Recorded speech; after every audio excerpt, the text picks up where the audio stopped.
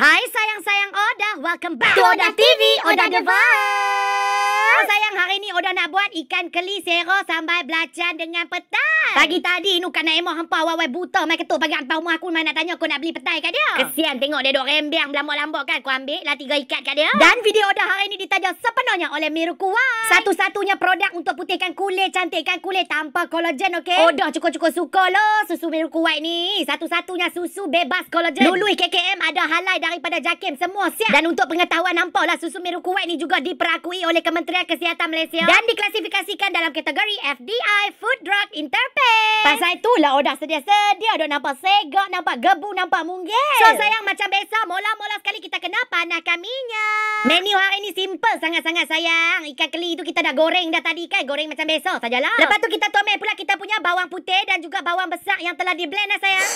Oh, sedapnya bau. Bau tomes ni cukup syok. No, Odah cukup suka bau tomes kalau masuk bawang putih ni. Arwah mak Odah ni kalau masak apa saja bawang putih ni dia takkan tinggal. Odah ada seorang tau kawan baik Odah ni duduk di Tanjung tu. Dia bukan boleh makan bawang-bawang putih ni. Bau pun tak boleh. Dia tak boleh bau bahang. Mau kalau kata dia bau ni nanti dia...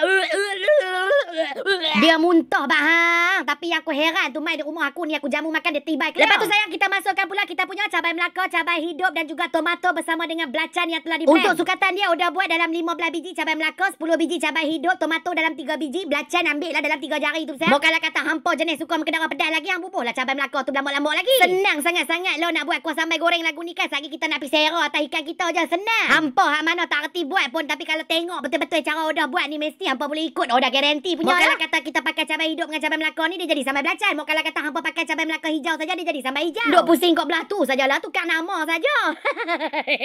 Lepas tu sayang kita masukkan paste asam jawa yang tak ada biji ni sayang senang kerja. Dan juga kita punya sos cili. Lepas saja kita tuang sos cili itu kita boleh terus perasakan dia Odah bubur dalam satu mangkuk gula lebih kurang lima camca. Dan juga dua camca garam diikuti dengan dua camca serbuk perasa. Nampak tak? Nampak tak? Senang sangat-sangat. Lo ni siap dah ni kuah kita ni. Tak gaduh nak buat apa dah. Kita cuma kena masak-masak dia. Tunggu dia kering. Tunggu minyak dia naik barulah sedap. Lepas minyak dia dah naik sagi. Dia punya sambal tu pun dah mula kering. Sagi kita lempak masuk petai pula. Senang kan? Eh, Odah cukup suka lo. Buat serah sambal belacan ni kan. Bubur petai. Uh, sedap. Hampa tak percaya. Hampa kena try weh. Ni Odah nak cerita lah kat Hampa. Hampa tahu tak? Susu miru kuwait ni dia boleh putihkan kulit badan kita ni secara keseluruhan. Yes. Dia boleh kecutkan jerawat kita. Ada berkemerah kat badan. Dia boleh detox balik buang toksin dalam badan kita ni. Dia boleh hilangkan gelap bawah mata. Kurangkan masalah kulit berminyak. Tambah balik nutrisi yang kurang dekat badan kita ni. Tambah-tambah lagi nutrisi yang berperanan sebagai anti penuaan. Barulah kita tak cepat nampak tua sayang. Susu miru kuwait ni. Susu bebas kolagen tau. Dia tak ada kolagen apa kat dalam dia. Pasal itulah kita kata benda ni benda bagus. Sebab kolagen ni pun bukan bagus sangat. Kita duk amalkan sedia-sedia tau. Untuk orang yang ada masalah fibroid dekat rahim tu. Ha lagi lah. Pasal itulah sayang. Odah tak takut langsung nak amalkan miru kuwait. Susu bebas kolagen ni. Dekat dalam dia tu 100%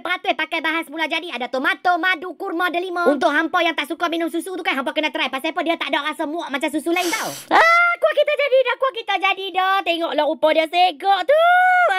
Ni mau kalau kata hampa makan kan. Kamiak dengan nasi panas tu. Mak mentua mai kira tengah jam lah. Nak buka pintu kat dia bagi masuk. Lain kali sayang kita lempak masuk pergi kat dalam tu. Kita punya petai. Lepas kita bubur petai tu. Jangan duk masuk lama sangat. Nak kacau concang-concang 2, 3, 4 kali round tu. Sudah kita boleh pergi serah atau ikan kita. Eh, udah mengetak mulut-mulut lo. Hmm. Dah telan ayat liok daripada tadi ni.